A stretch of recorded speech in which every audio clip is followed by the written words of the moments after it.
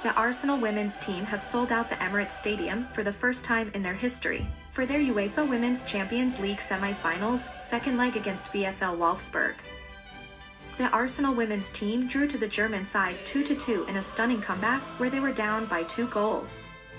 The winners of this will face the FC Barcelona women's team, who beat Chelsea 2-1 in the first semi-finals, in the finals at Eindhoven in the Netherlands.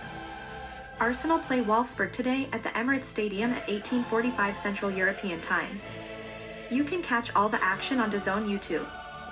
Thanks for watching and remember to subscribe.